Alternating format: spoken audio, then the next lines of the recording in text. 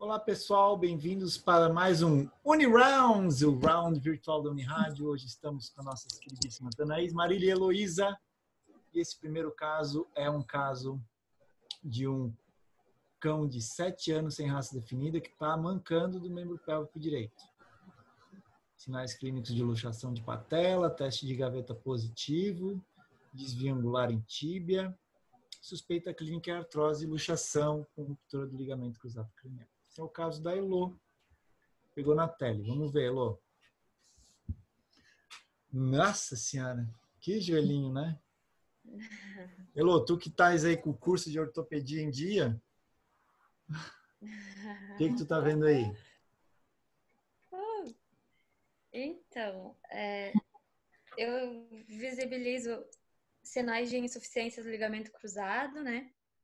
Tem efusão articular, tem bastante sinais de idade, mas tem desvio angular tibial bem importante.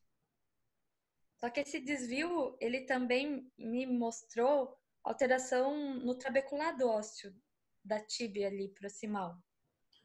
Ah, eu tô vendo Isso aqui... que eu...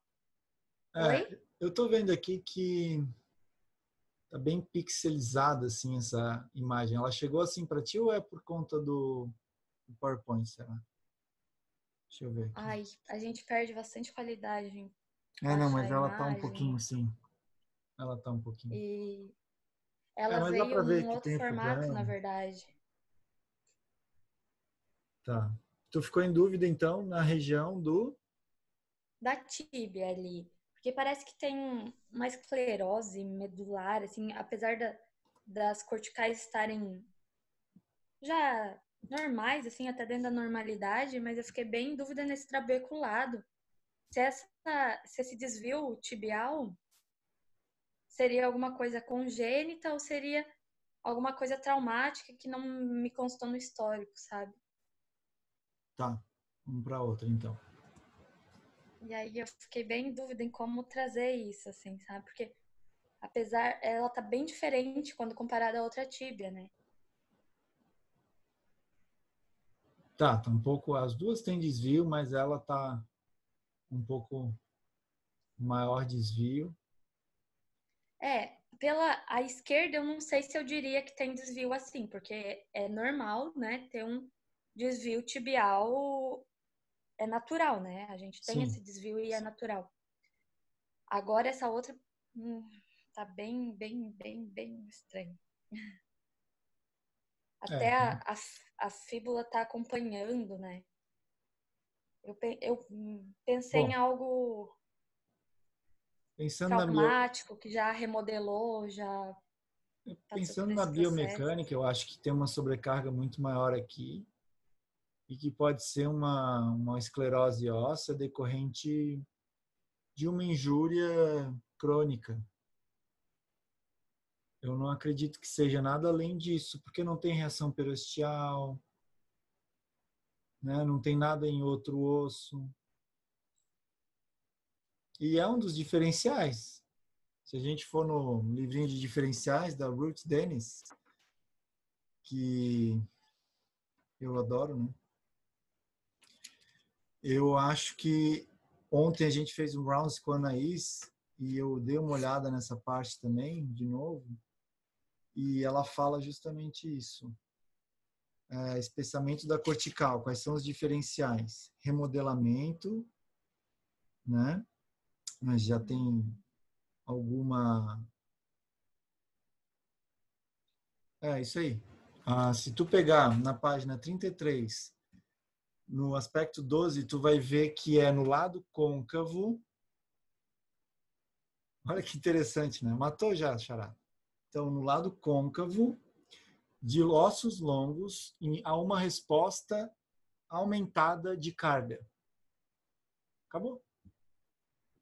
Então, se tu pensar, é, tá sofrendo mais sobrecarga aqui e faz sentido o osso dar uma compensada nessa sobrecarga.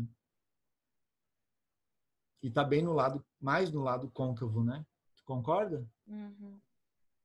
Concordo.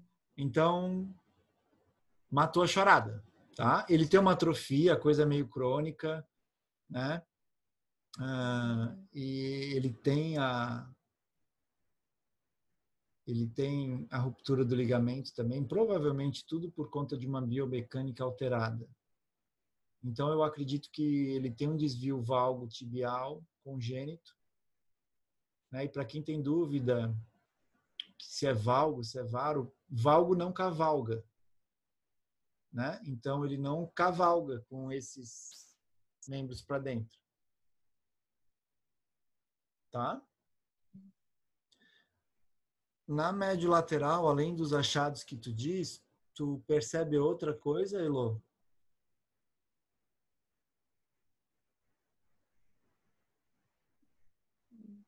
Eu não vi a tua descrição ainda, mas eu acho que essa patela parece uma patela de um gato. Então eu consideraria uhum. isso aqui um osteofito patelar também. Ah, sim. Uhum. Tá?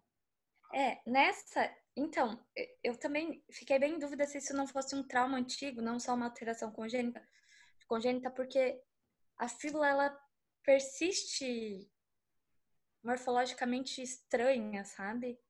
Acompanha o desvio da tíbia e na médio também ela parece que tá, não sei, assim. Sim. Fiquei pensando se isso não podia ser uma fratura antiga que fez uma má união Sim, e... sim. É, é possível, é possível que seja, mas se for, acredito eu, por ausência de um calo ósseo, assim, na fíbula e na tíbia, se for, foi lá no nascimento, assim. Uhum. Entendeu? E a coisa foi sim. degringolando assim. Então, pode até ter sido, vai dizer que não. Quem vai saber que não, né?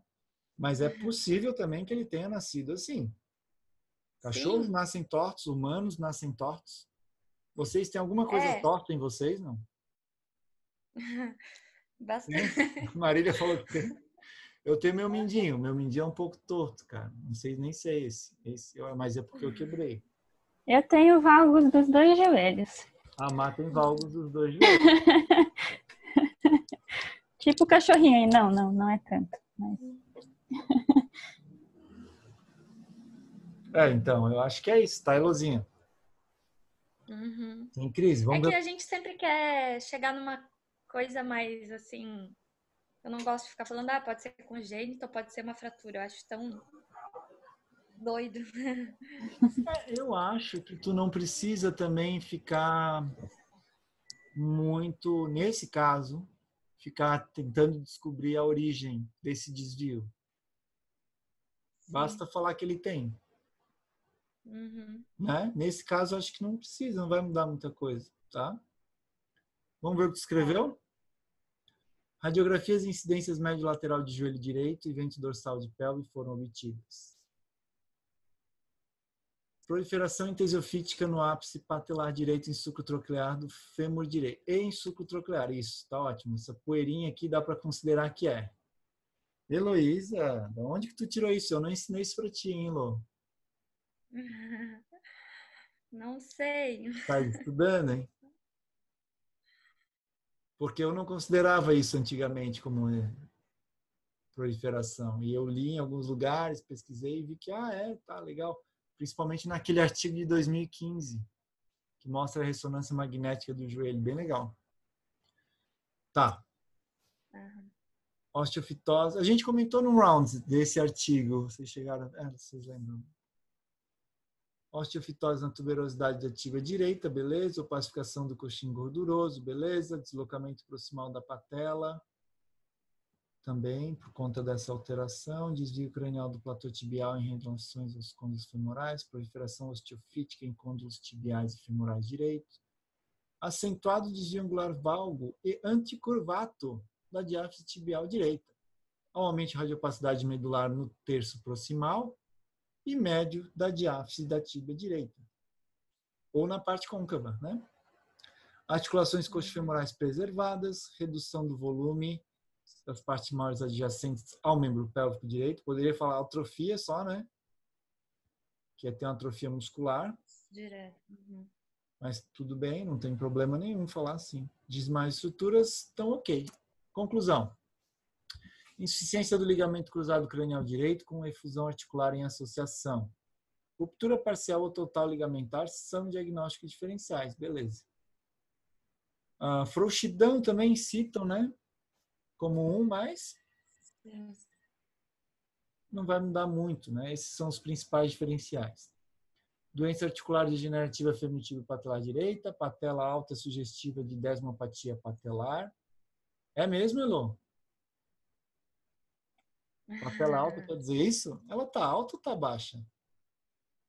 Eu acho que ela tá alta, tá baixa. Aí tá baixa e na, na... É, aqui tá. Crânio eu, eu achei alta. Tá. E aí eu fiquei assim. Dá para descrever isso como instabilidade patelar? É, eu sempre tenho essa dúvida.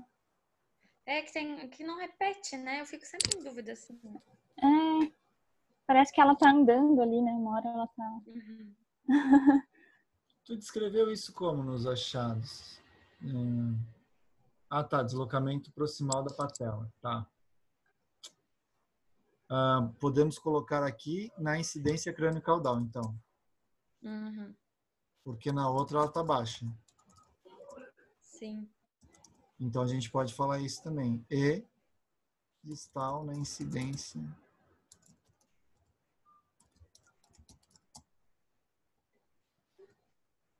Beleza. Como é que escreve crânio caudal, hein, gente? É tudo junto ou é assim? Com essa nova nómina? Coloco tudo junto, sem acento. Sem acento, né?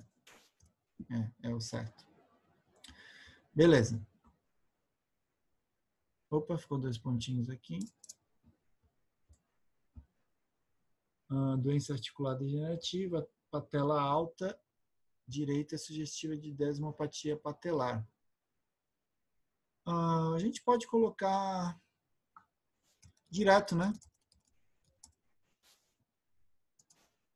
Não é só aquele achado. Uhum. Sim.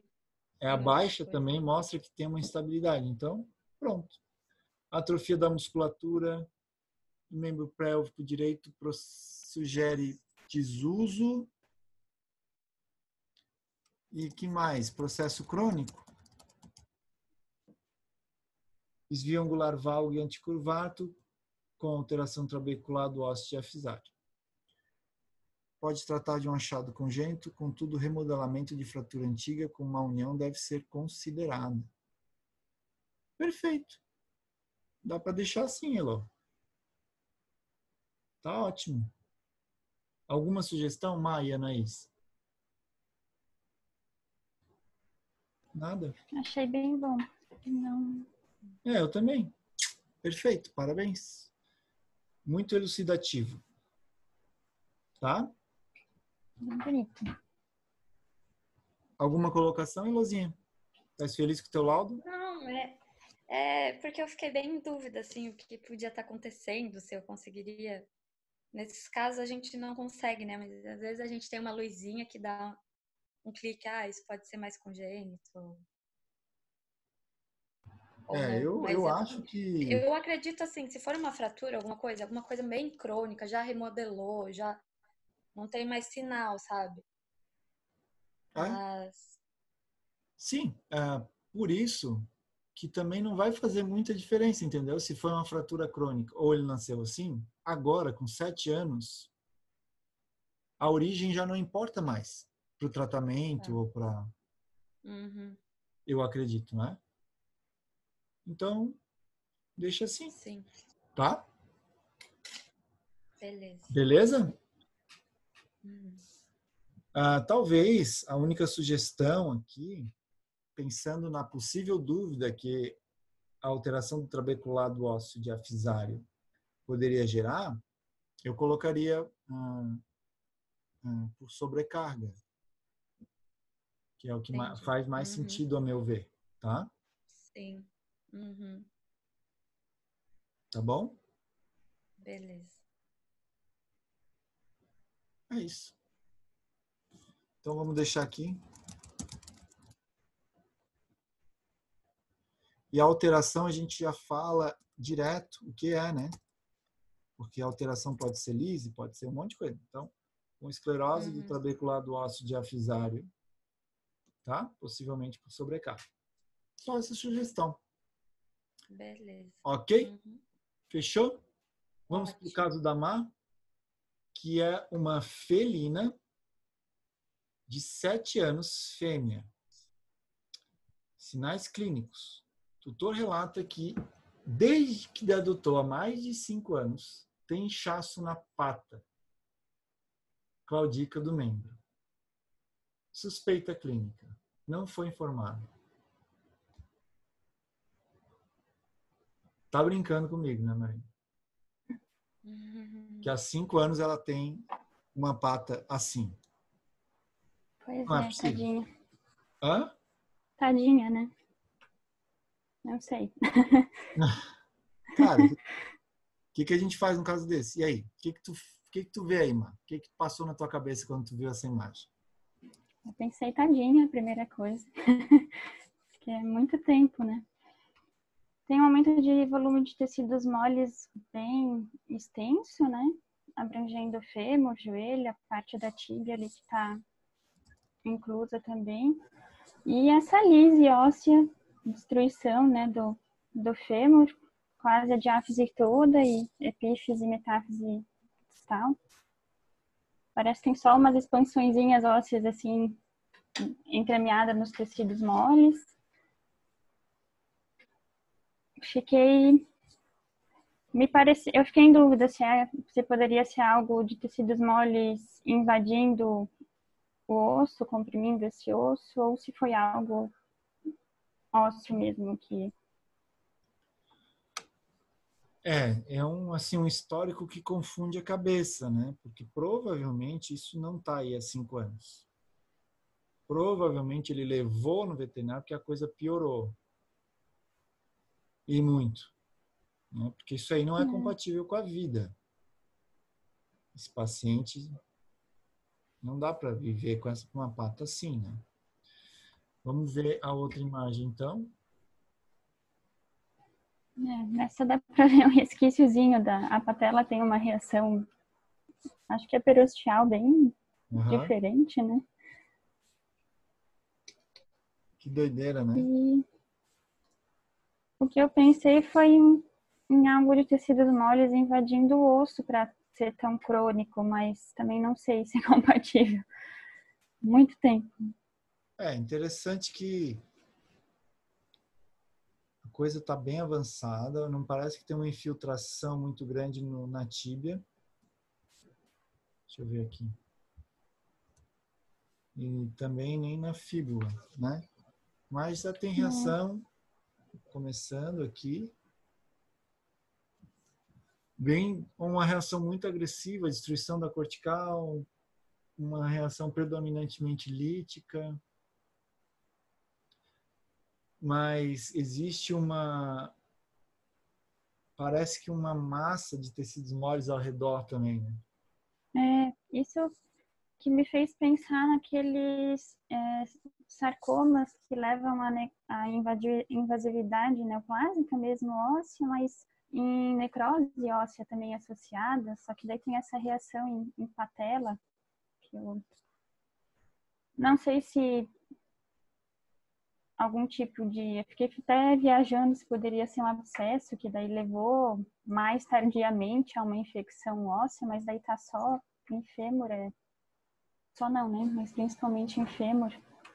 É, Mas bem doido, né? Vamos ver o que tu tirou desse, desse exame então. Radiografia em projeções ortogonais do membro pélvico esquerdo, abrangendo pelvo em projeção ventrodorsal e membro contralateral em incidência caudal. Extenso aumento de volume e radiopacidade de tecidos moles, envolvendo fêmur e joelho esquerdos. Destruição óssea completa dos terços médios e distal do fêmur esquerdo, com discreta reação óssea proliferativa entremeada aos tecidos moles. Beleza. Área de osteólise e reação perostial no bordo remanescente do fêmur proximal. Reação perostial colunar envolvendo a patela. eu não sabia se eu ia classificar bem se é colunar mesmo. Ela tá bem.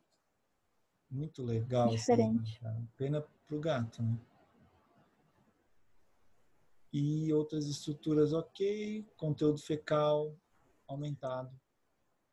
Vamos ver a tua impressão. Extenso aumento dos de aumento dos tecidos moles envolvendo fêmur e joelhos esquerdo e joelho esquerdos. Com grave destruição óssea dos terços médios distal do fêmur. Neoplasia de tecidos moles, especialmente sarcomas, com invasividade e necrose óssea secundária, é o principal diagnóstico diferencial. Não se descarta a neoplasia óssea primária, né? Eu colocaria. Isso, é. é até isso mesmo. Na nossa cabeça fica claro, né? É. Esse exame eu fiquei muito em dúvida se eu poderia considerar outra coisa. Eu acompanhei um caso de um cachorro que ele tinha um aumento de volume há três anos. E só tinha um filetinho no meio, assim, da medular óssea remanescente, era, era na tíbia. Acho que era na tíbia. Uhum. E era um sarcoma, e era uma evolução bem longa também, então foi isso que eu pensei mais, assim, mas... Não, eu concordo contigo. Dentro dos sarcomas, qual que é o mais comum de acontecer no joelho? No joelho? Sim, eu sei. Me fugiu agora. Ah. Mas em articulações, né? É, o osteosarcoma, sem dúvida. Sim. É o campeão, Mas em outros... pode ser ele. Inclusive, existe um tipo de osteosarcoma, que é o osteosarcoma Mas... parosteal. Né? E aquele de articulações que eu esqueci? Aí sim, aí é o do sinóvia, aí é o estiocístico. Uhum. O estiocístico é o mais comum. Cara, muito difícil saber por esse exame, tá? É, mas o osteosarcoma parosteal seria um diagnóstico diferencial, né, nesse caso, tá? Vou até tentar achar uma fotinho aqui, rápido, para ver se eu consigo mostrar para vocês. Ah, a gente tinha pensado em sarcoma, aqueles sarcomas de aplicação, se poderia levar a uma. É, é possível também, né? Ele faz isso também. Sarcoma de aplicação também pode fazer isso. Uhum. Bem pensado. É, mas tu escreveu isso já, né? A dúvida é mais, nossa, assim, o que, que a gente pode né, é, falar de melhor, assim. E eu acho que sarcoma é a principal Aí existe um grupo aí de sarcomas que podem acontecer, né? Eu não vou achar aqui, mas eu tenho aqui, ó. É... Bom, o... Sarcoma sinovial mesmo, não sei se... É, sarcoma sinovi... É sinovial, ele é comum no cão. Uhum. Mas a maioria é de origem estiocística, de acordo com essa revisão aqui 35 casos, legal, de 2002. É, existem algumas outras coisas que podem acontecer, né? Como o linfoma, mas olha só como o linfoma ele dá coisas bem discretas. Né? Então não é linfoma, mas pode acontecer ali. E existe um mixoma que também pode vir do, do sinóvia, né? Da sinóvia, esse é um relato de caso num coelho. Olha como se parece de alguma forma a lesão, mas não é, né? Então eu acredito que sim, é um sarcoma de tecidos moles que invadiu o osso ou um osteosarcoma, né? uhum. né? Ou um sarcoma estiocístico. Eu nem pensei no osteosarcoma pelo, pelo tempo de evolução, mas também pode ser que ele veio acontecer de, depois, né? Não sei, às vezes é. tem algum outro aumento e... Sem dúvida é um histórico que não te agrega muito, sim, porque na verdade ele não está com isso aqui há cinco anos. Uma pata dessa, é, cinco anos, ele não está. Eu não sei se tinha um aumento de volume e depois aconteceu isso tudo, porque é, é. é muito feio, né? Aí, assim, uma alteração pode evoluir para outra, né? Uhum. Então, o sarcoma gosta de acontecer em sítios de implante metálico, traumas crônicos podem induzir neoplasias. Vai saber uhum. se ela uhum. não tinha uma alteração prévia que, que desenvolveu isso aí no final, né? Uhum. Esse exame, mas seria legal a gente saber, não sei se tu lembra quem, Quem que Eu pedi para eles, mas não tive retorno ainda. Ele foi encaminhado, parece, para Tá. É, tomara que Mas ele eu- consiga. É, Beleza, muito legal. Parabéns pela tua descrição também. Casos muito bonitos. É um caso bem esquisito da Elo. e um caso bem difícil e que traz pena pra gente é, da Marília, né? Fechou, turma? Alguma dúvida? Show. Então os ossos sarcomas pegam a gente, né? Uhum. Então tá. É isso. Alguma outra colocação que vocês queriam dar antes da gente encerrar esse round? Fechou, então. certo. Parabéns para vocês pelas suas inscrições. E então a gente se encontra no próximo round. Até mais.